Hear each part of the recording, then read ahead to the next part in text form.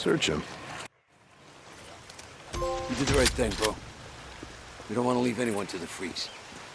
Not even a piece of shit like Leon.